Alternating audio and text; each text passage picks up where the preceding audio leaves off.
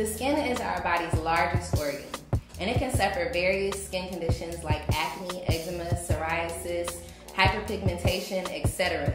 The list goes on and on.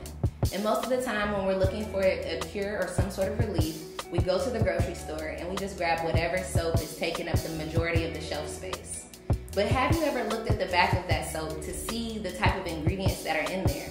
I bet if you have that you aren't able to pronounce a lot of them and I'm pretty sure there's a question mark over your head trying to figure out what are these ingredients. Well, I'm here to tell you that a lot of those ingredients are often toxic.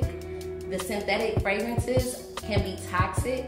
They can throw off your body's hormones. They can further perpetuate your dry skin. They've been known to be skin irritants. And so that's why our solution to your problem is Herb'N Eden. Herb'N Eden is your solution because it's natural soap made with plant ingredients such as lavender, oatmeal, neem, the list goes on and on. Anything that's a plant that's been known to help with the skin, we like to use it in our soaps and our various body care products. And the reason why we do this is because these ingredients, such as turmeric, which is anti-inflammatory, lavender, is relaxing, calming, and soothing for the skin.